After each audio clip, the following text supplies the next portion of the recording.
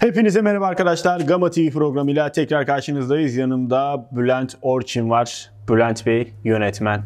Biraz kendisini tanıyalım, programımıza başlayalım. Merhabalar, Biraz sıkı, güzel bir program olacak gibi geliyor. Evet öyle geliyor. Bayağı da komedi bir şekilde girdik içeriye. Evet biraz 40 yaşında yönetmenimiz Evet 40 var. yaşında yönetmen bizi bayağı kastı. Soracağım ona. ben Hocam ben de ilk defa öğrendim bu arada. Ha gerçekten mi? Gerçekten mi? 40 yaşında mıydınız? Ya sakalında beyaz yok, saçında yok. Yok babam 48 yaşında. Allah aşkına.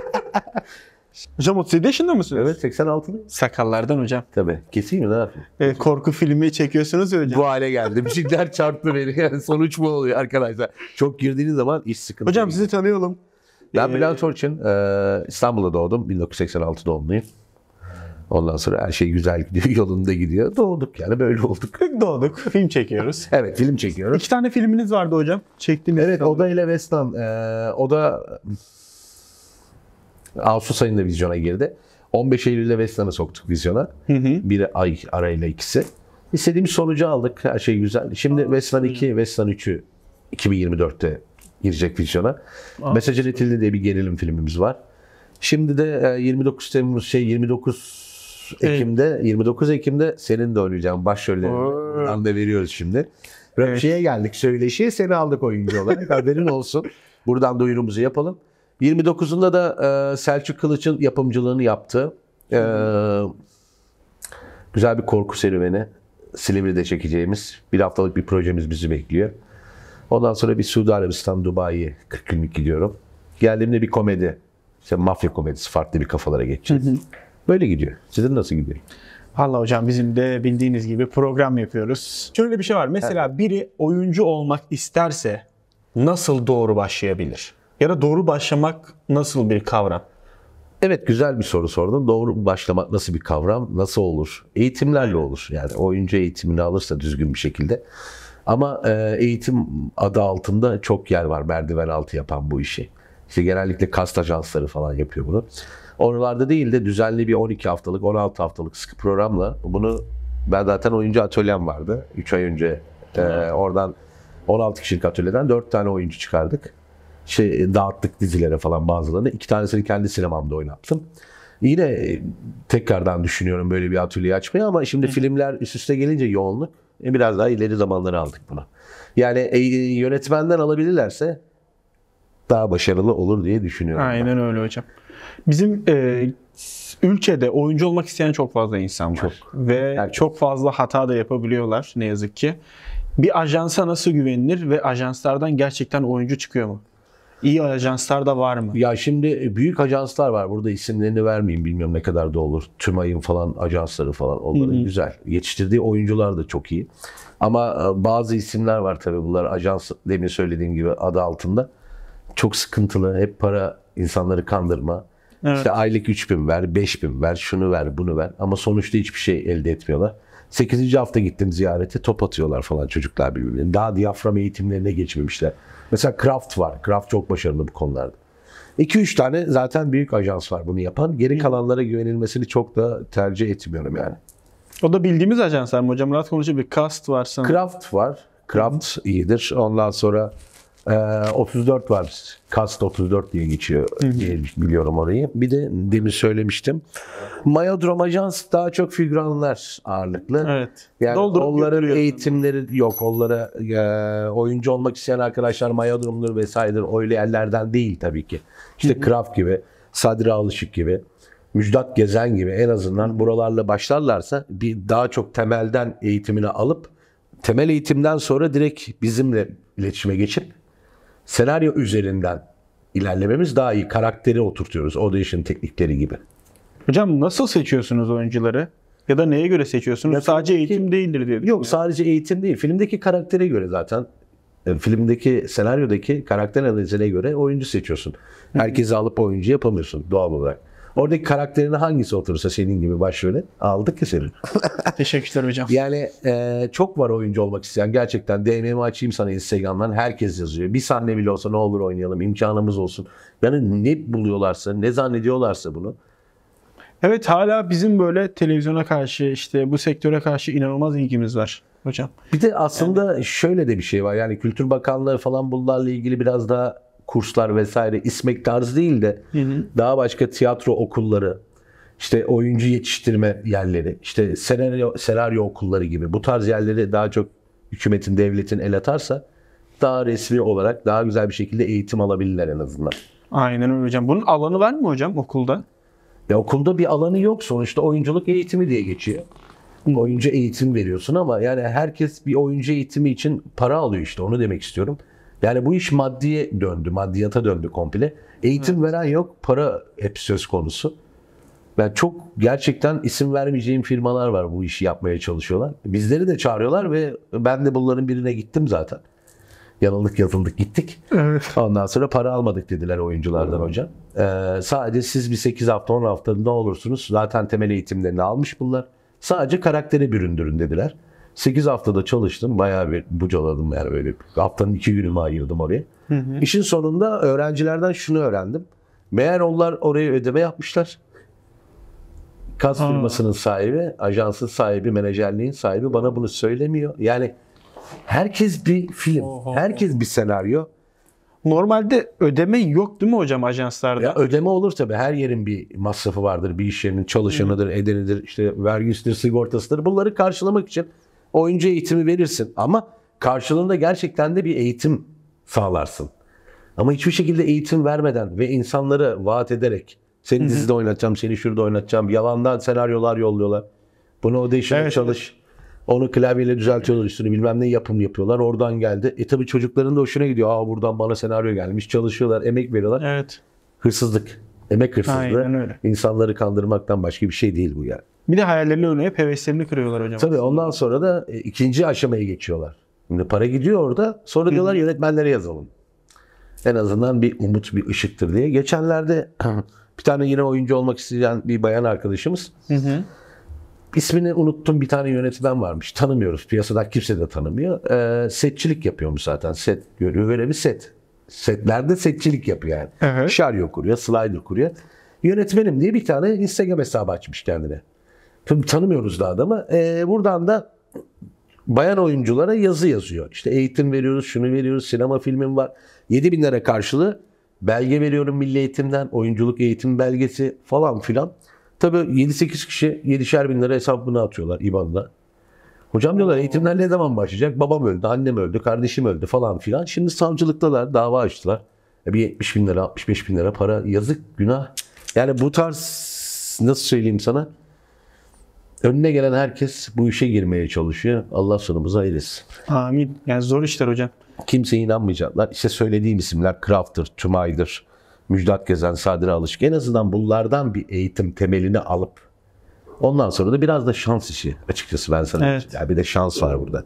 Yani hem yönetmen evet seni aldı bir filme oradan yürüyüp gidemiyorsun zaten. Yani senin de şansın olup ve kendinde de bireysel becerilerin çok ön planda olması lazım diye düşünüyorum ben. Müjdat Gezen bayağı eskiden gelen. Çok eskiden Evet. gelen. e, şöyle söyleyeyim sana. Nereden baksan 5-6 tane oyuncum var benim Müjdat Gezen'den çıkma. Hı hı. Çok memnunlar çocuklar ve gelenleri de görüyorum gerçekten de hazır bir şekilde geliyor karşıma. Yani Kraft'tan gelen, Müjdat Gezen'den gelen, Tümay'dan zaten büyük isimler var. Ya bunlar gerçekten hakkını veriyor. Evet bir para alıyorlar. Tabii ki alacaklar. Mesela şey de var. e, 45'lik duydunuz mu? 45'lik oyuncu atölyesi. Evet. Taksim'de. Cihangir'de. Kudret Hoca, Kudret Sabancı'nın verdiği Yağmur var orada yine yönetmen. Orada da güzel bir eğitim veriliyor. Mesela oradan da oyuncular geliyor bana. Ha. 6 aylık, 8 aylık, 1 yıllık eğitim veriliyor. Tabii bu 6, 8 ve 1 yıl içerisinde hiçbir projeyi yollamıyorlar. Doğru olanı yapıyorlar. Kendileri tam yetişsin- öğretiyorlar. Aynen süpersin. Tam böyle hazır hale sokuyorlar. Ondan sonra kendileri senaryo yazıp orada oynatıyorlar. içlerinde. Anladın mı? Hazır bir hale geldiği anda direkt sunumunu yapıyorlar. Yani bunlar da Çok iyi bizim sistem. için daha iyi oluyor. Senin gibi hazır oluyor herkes. Teşekkür ederim hocam. Bayağı bir talip oldum sana ya. Bon servisi konuşmadık ama. Şey, onu konuşuruz hocam. Senin aşkın saati nasıl geçti? Aşkın bakalım, saati sana bir güzeldi soru. hocam. Çok eğlenceliydi. Normalde yapım kısmındaydım. Bir de yönetmen asistanlığı vardı. Sonra bir rol yazdık. Hasan abinin de aklında vardı bir şeyler. Aynen. Yine ana karakter oyuncusu. Ondan sonra böyle filme girdik. Filme girdik. izlediğin göndermiyorlar bir türlü. İnşallah çıkacak bu ay ya da önümüzdeki ay. Yani kesin çıkacak artık. Çünkü çıkma işimiz çok fazla olmadı. Ee, böyle girdik. Güzel oldu. Turisti bir türlü göndermiyorlar Taksim'e. O da Havkine göre Taksim amcadan geldi aklıma aslında. Bir tane amca vardı ya. Ha oradan esinler. Aynen öyle. Ki bunun genç versiyonu. Beni izletti bana çünkü. Profesyonel bir filmde oynayan bir genç versiyonu yoktu. Öyle çektik. İnsanların aklında. Güzel ama bir karakterin de güzel olmuş bir orada. Turistik tam durmuş ya şapkalar mapkalar falan. Farklı bir Hepsini bir karakter. yerden aldım. Evet, 29'unda film çekeceğiz arkadaşlar. Erkek da vardı nerede? 29'unda çok güzel bir film çekiliyor. Ee, 2024'te mi yayınlanacak? Muskan'ın Cinleri. Evet 2024'ün ilk çeyreğinde vizyonda olacak inşallah. Ve bizim Türk filmlerimiz gerçekten korkuysa güzel korku çekiliyor. Evet demin konuştuk içeride zaten Aynen yayından öyle. önce. İki filminiz de zaten çok iyiydi. Güzel Bu filmde evet. daha iyi olacak. Yorumları falan da güzeldi. Beyaz Perde'de işte YouTube'da fragman altlarında bayağı güzel yorumlar vardı. Yani kötü bir yorum gelmedi filmle ilgili. Tabii ki olacak eleştiri. Eleştiri olursa kendimizi düzeltiriz. Doğru. Ama gerçekten bir eleştiri gelmedi. Ben çok istiyordum eleştiri olmasını. Yanlış nerede yaptım diye. Bu sefer çevreme, kendi arkadaşlarıma sordum. Bayağı yanlışım varmış. Notlarımı aldım ama yani yanlış o kadar çokmuş ki. Sana bir değiştirmem lazım. Onlar uyuz olmuşlar bana. Şunu da değiştir, bunu da değiştir. ya bir korku çekiyoruz. Ben geçen Marmara Üniversitesi'ne gittim. Marmara Üniversitesi. İstanbul Üniversitesi. Söyleşi yapıyoruz. Birinci sınıf, ikinci sınıf. Radyo ve televizyon, sinema ve TV ile. Öğrencilerle birlikte. Dedik ki işte korku yapacağız. Nasıl bir korku istersiniz? Şimdi bunlar Z kuşağı ya. Mecburuz bunların dediğini yapmak zorundayız. Biri de cinsel tema olsun. Tamam olsun cinsellik. Öbürü de dram olsun. Senarist de yanımda birbirimize bakıyoruz. Bak. Komedi olsun. Bak yemin ediyorum. Korkmak da istiyoruz. Odada bunu yaşattık. Sevişme yani cinsellik verdik. Hı hı. Bol bol verdik. Komedimiz var bir 15 dakika güldürüyoruz. Gerçekten güldürüyoruz. Korku filmi gibi değil. Dramımız var. Cenazemiz falan ağıtlar mahatlar. Oradan korkuya geçiyoruz falan. Farklı bir kafalara büründük. Şimdi bunu yaptığın zaman tabii senaryoda senarist de zorlanıyor. Çekerken bizler de zorlanıyoruz. Bazı yerlerde tabii ki hatalarımız oluyor. Bunlarla ilgili eleştiri istedim. İşte, ama izleyicilerden gelmedi. Demek ki beğenmişler odayı. Odayla ilgili söylüyorum. Westland zaten tipik e, bir köyde geçen korku filmi. Daha minimal yani böyle Türk korkularının hep cin istedikleri. İşte oda olmasın. Yani bir cin filmin isminde bir cinimiz olsun. O ismi görmek istiyorlar. Oda diye korku filmi olmaz diyor mesela. Niye Hollywood yapıyor abi olmuyor bizde niye olmasın? Aa, bizde cin olacak yani cinli intikam, cinli ehli. Yani bir şeyler o cin süresi olacak yani orada. O zaman izlediği daha çok şey oluyor hoşuna gidiyor. Dağıtımcı da öyle söylüyor. Mars'ta zaten çıkıyoruz filmlerimizde. Ee, bundan sonra herhalde biz de cin işte Muska'nın cinleriyle başladık abi. Muska'nın Çok iyi. 1, cinleriyle 2, 3, inşallah. 4, 5 olarak Seri olarak gideceğiz. Zaten seri olacak bu filmde sana söylemiştim. Daha senaryosunu bile okumadım. Da- ne olduğunu bile bilmiyorum. Daha ne Ama olduğunu bile bilmiyorum. Size güveniyorum hocam. Bu rolü bana iyi layık gördüyseniz güzel bir Cin rol. karakteri sensin zaten. Bizim bir tane korku filmimiz var bizim de. Ama bizimkinin içeriği akrabalarla ilgili. Nasıl yani? Yazıyorum şu anda. Aa, Full akrabalar. ha, o Yani derece. akrabalar korkunç. Ha, o Yani- derece yani. Şimdi anladım. Çekim muhabbeti o. Biri geldi. Oyuncu. olmak istiyorum. Ya da örnek veriyorum sanatta, sanat kısmında olmak istiyorum ya da yapımcı Ha, olmak ekipte anladım. Aynen. O ekip sistemi nasıl kuruluyor? Bu ekipte kimler oluyor genelde? Tamam, bir güzel. filmi çekmek için nasıl bir ekibe ihtiyacımız var? Hemen ben cevabını vereyim sana. İlk önce görüntü yönetmeni. Dopla başlıyoruz zaten. Ondan sonra sanat ekibi, kostüm, işte e, prodüksiyon, prodüksiyon amiri, make-up vesaire bu tarz devam ediyoruz. Şimdi yeni bir e, üniversiteli diyelim ki bizim yanımıza girmek istiyor stajı olarak. Süper. Sanata geçecek mesela sanat bölümüne. Mesela sanat yönetmenimizin asistanın asistanı oluyor. Tamam. Asistanlıktan başlıyor, öğreniyor. Sonra asistan olup 5 yıl çalışıp sanat yönetmeni olabiliyor. Kostüm kostüm şefi de aynı şekilde. Kostüm şefinin asistanının asistanı oluyor. Bu şekilde gidiyor. Mesela kamera asistanı. Örnek veriyorum görüntü yönetmeni fokus bulur. Birinci asistan, ikinci asistan, üçüncü asistanla okulluyu alıp koyuyoruz. İki aylık, üç aylık bir süreç. Ondan sonra kademe kademe devam ediyor zaten bunlar. Ha, kamerayı al çek şeyini. Öyle bir şey yok. Volkan'ım öyle bir şey var mı? Sen yapıyorsun ama ya şu an senin işini çok kolay görüyor. Tripoda kurmuşsun. Üç ayak. İkinci soru dedin yönetmen olmak için. Yönetmen yapımcı ol, batmak için. Aynen. Onlar için bat, nasıl batılır?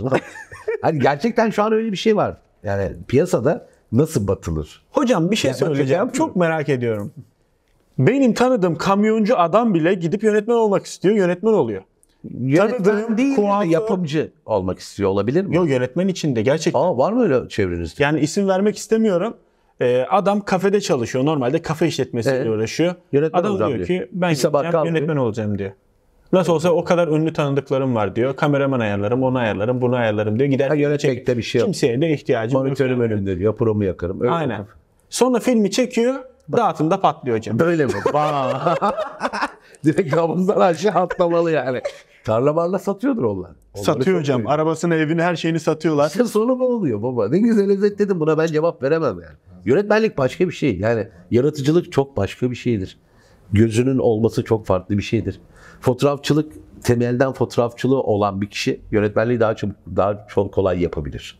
Çünkü Evet. fotoğrafta da öyle. Yani yaratıcılığın ön planda oluyor. Şimdi Volkan yaratıcı değil burada. Sabit koymuş oraya kamerayı. Biz konuşuyoruz. ya bu çok iyiydi ya. 3 yaş var aranızda değil mi hocam? Evet gelmesin bence. Bak vallahi çeker giderim. ya. Tribe girdim lan. Adam ne kadar genç oğlum. Yapımcı olmak. Yapımcıları nereden buluyorlar hocam? Yapımcılar bizleri buluyor. Ha onlar mı buluyor? Evet bizleri buluyorlar. Sosyal medya üzerinde. İşte filmleri takip ediyorlar daha doğrusu. Tamam. İşte box office'ten ya da sinemaya gidiyor. Yönetmen Bülent Orçun görüyor. E, filmi beğeniyor. Bir de böyle bir çevresinde söyleşi varsa e, bir film yap. Bunda para var, bu işte para var falan filan. Seni buluyor zaten o. Bulduğu zaman da hocam elinde bir senaryo var mı? Ben yapımcılık yapmak istiyorum diye gelenler çok oluyor bize. Ama sektörden olan kişiler olursa bunlar bizler de daha çabuk anlaşabiliyoruz. Ama sektör dışı bir adama film Allah korusun sinemada hasılatı çok kötü bir sonuç aldı içeride Evet, anlattım evet, sana. Evet evet. Yani canımızdan olmayalım yani bir film çekiyoruz altı üstü. Kimse bilemiyor garantisi yok sinemanın. E, sinema lokasyon zaten lokasyon üzerine kurulmuş bir düzen. Lokasyonun yüksekse izlendiriyorsun seyirciye. Çünkü her yerde o afişi görüyor herkes. Aynen. Filmin kalitesi olması lazım. Fragmanı çok düzgün olması lazım. Afişinin düzgün olması lazım. Post prodüksiyon rengidir, kolorudur, sestir, efektir. Baya baya işlerimiz Evet aynen öyle. Şimdi ben daha önce hep yapımcılığını yönetmenliğini kendim yaptım. 5 tane sinema filmimin. İkisini yayınladım. 3 tanesi 2024'ün ilk çeyreği, ikinci çeyreği ve sonlara doğru çıkacak 2024'te. Yapımcılığımı hep kendim yaptım. Yapımcım yoktu. Şimdi Selçuk Kılıç'ın projesiyle birlikte ilk sefer dış yapımla olan işe başlıyoruz 29'unda. Oo. Benim için de çok önemli. E Selçuk da zaten tanınmış birisi kendisi. Eski kickbox şampiyonumuz, milli sporcumuz. Güzel bir proje olacağına inanıyorum. Hatta Kesinlikle hocam beraberiz zaten hocam. Kötü olma şansı hocam. Harikasın. İşte okuma provaları vesairedir. Başlayacağız hayırlısıyla. İnşallah. O filmimizde fikir. 26'sında okuma programımız hocam. Harikasın. Süper. 26'da okuma provamız var. 28'i mekanlardayız. 29'u kayıt diyeceğiz. Bir haftalık bir proje. Mis. Bir de bir haftada çekmem şu anda benim yapımcılarla ilgili bir sıkıntıymış. İşte şimdi A isimli yönetmenli yapımcı çalışıyor. Korku çekiyor. Öyle Hocam söyleyeyim. normal Diyor ki filmleri zaten 3 haftada, 1 ayda. bir- 15 günde diyor korku filmine. De. Olabilir. Ben kimseyi eleştiremem ama ben bir haftada çekiyorum. Kendi yapımcılığımı yaptığım için. Yani benim için maddi her gün çok önemli. Şimdi Evet. benim ne dedim demin yapımcılığını hep ben yaptım. Dışarıya yaptırdığın zaman yönetmensin ya koltukta yaslanıyorsun. İstersen 20 gün söyle. Aynen öyle hocam. Yani e, ben biraz daha çok hızlandırıyorum işi. E, daha önce şeyini çok hazırlığını çok hızlı yapıyorum çünkü mekan hazırlıklarını vesaire. Hocam zaten çok zaman kaybediyorlar set içerisinde. Yani Tabii tabii tabii. kalkması tekrar geçmesi. Oo, 3 sahne tekrar. çekiliyor. Bir gün. İşte bir senede bir gün. e, lafını böldüm. Burada işte oyuncunun çok iyi olması seni de kolaylaştırıyor işini. Benim hiçbir zaman 5 tekim yoktu çocuklar. Üçüncü tekte almışımdır istediğimi. Almak zorundayım. Yani o oyuncu bana baktan tabiri caizse onun içinden geçerim. Verecek bana o sahneyi. Çünkü sen oyuncusun. Oyuncu Aynen. adayı değilsin. Oyuncusan onu yapacaksın bana. Yani korku evet korku Türk insanı için ya da bizim sektörel bile korku dediğin zaman korku çekiyor. Hadi değil. Hadi korkut. Beni korkutsana. Yani çok zor bir şey. Oyuncu için de gerçekten. Evet evet. Aynen. Komedi ve korku çok zor bir şey. Güldürmek de aynı. Çok zor. Yani herkes bir insanı güldüremez. Korkuda da öyle. Mizah, anla- mizah anlayışı ko- komedide nasılsa korkuda da bir mizah anlayışı var. Aynen öyle. Sende de o suratı gördüğüm için Teşekkürler hocam. İyi yönde alıyorum ben. ya bunu. ne tatlı yüzün var. Tatlı bir yüze korku yüzü yapacaksın. Tabii yapacağız. Alıştıralım şimdi. İşte bu korkunç asıl olan. Heh, bunu yapmamız lazım. İşte bu. Olay budur. Bu film çok izlenecek hocam ben hissediyorum. İnşallah. gerçekten yönetmen olduğunda yönetmen kimliğiyle güzel para kazanabilir mi? Evet yönetmen kimliğine çok güzel paralar kazanabiliyordun. Ama şu 4-5 ay önceye kadardı bu. Aa, Şimdi eee, %35 hep sendikaların zam zam zam zam zam zam zam. Eee, şimdi yönetmenlerin örnek veriyorum. Yani herkesin bütçesi değişiyordur. Bir korku filmine 150 bin lira alıyor bütçe. Evet güzel para bu. evet. Ama alıyordu. Şimdi öyle bir şey yok. Birinci yapım koordinatörü haftalık 35 bin TL para alıyor. Aynen. Biz 100 bin lira söylediğimiz zaman hocam çok diyor. Yapım koordinatörü alıyor ama 35 bin lira. Yani sanatta sanat yönetmeni alıyorsa 25-30 bin lira. Kostümcü alıyorsa 20 bin lira. E benim 100 bin lira almam sence nedir? Aynen normal. Yani işin yönetmenisin. Artık o iş kalmadı. Çünkü neden oldu bu? Çok herkes yönetmen oldu senin demin dediğin gibi. Şöyle. Evet. Radyo ve televizyon okudu, mezun oldu hemen. İkinci sınıf terk girdi. Birinci sınıf ya üniversitede okurken bile hala kısa filmler, işte sinema filmi, korku çekelim ne olacak ki? Ee, komedi yapalım ne olacak ki? Geçen gün gördüm mesela 31 lokasyonda çıkmış. 25 kişi izlemiş filmi. İsim vermeyeyim yani şimdi dağıtımcılarla konuşuyoruz. Diyorlar ki evet almak istemiyoruz. Kalite yok. Hiçbir şey yok. Görüntü Aynen. yok. Nasıl olacak abi? Bu sefer senin gerçekten alacağın hakkın paran da gidiyor. Oradaki yönetmen diyor ki ben sinema filmi çek çektim. 25 kişi bile olsa o yönetmen. Biz de saygı duyuyoruz. Evet doğru. Ben diyor 10 bin liraya gelip yaparım diyor filmi diyor. Yani bu derecelere düştü artık. Evet. Bir programımızın daha sonuna geldik. Teşekkür ederim hocam. Seviyorum sağlık. Ben de sizi çok seviyorum. 26'sında görüşüyoruz tekrar. Okuma 26'sında provası. beraberiz okuma provası. Bütün izleyicilerimiz de filme gelirse seviniriz. Bekliyoruz sizleri. Kaşemiz yüksek. Şey neydi onun adı? Ya, Gişelerimiz yüksek olsun. Evet gişelerimiz. Aynen. Kaşe deyince hemen bir Ya, Hocam onu konuşuruz programda. onu sonra çıkışta bakalım. Aynen aynen. Görüşürüz. Mutlu kalın. Görüşürüz. Sağ olun.